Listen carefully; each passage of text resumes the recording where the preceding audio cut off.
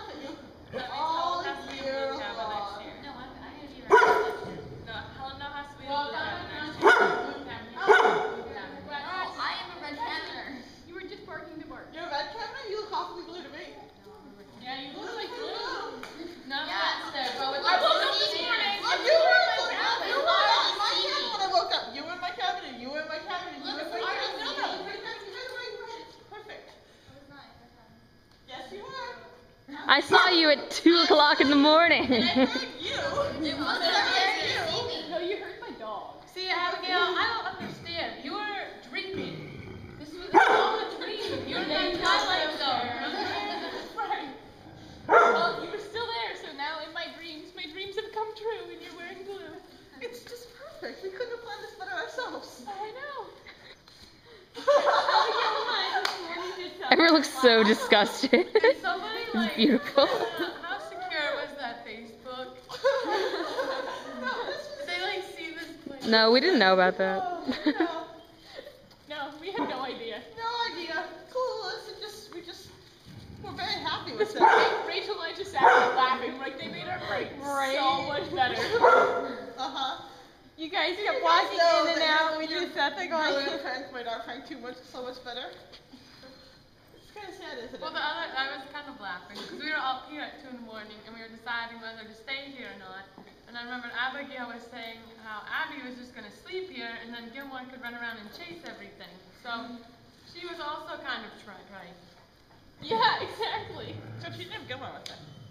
I think that's lovely. You guys should all start wearing this hairdo. This is the emergency poop bag if you would like to model. We should get some blue cabin and red cabin pictures.